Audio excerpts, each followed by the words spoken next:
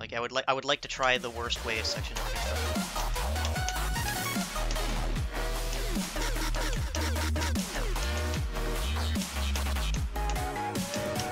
And I mean, it isn't, but it's horrendous. I don't know why the fuck you would make anything like that.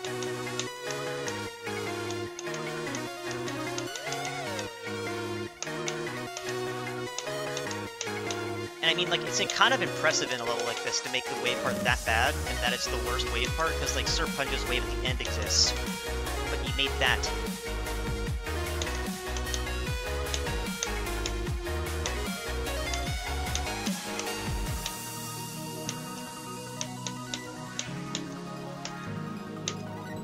I always feel like I'm on the verge of forgetting what to do there, but I just kind of, I just kind of do it. I don't know. I don't even know if you need to jump there at the beginning. I just, I just do it.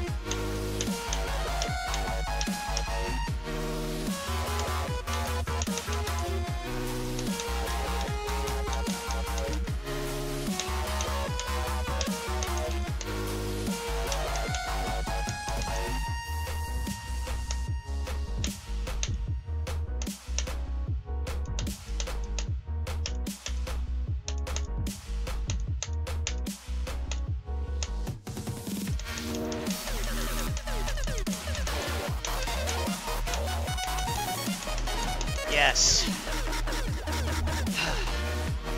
Sour cream 11, complete.